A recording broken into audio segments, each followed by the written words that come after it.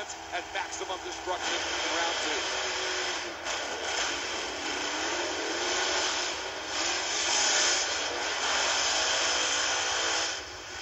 Max D has Brutus hanging in there with him into the turn. Max D's got the better turn going, and it looks like Tom's in control. That was a very conservative pass for Tom Meents. He did not hang it out on the rail. He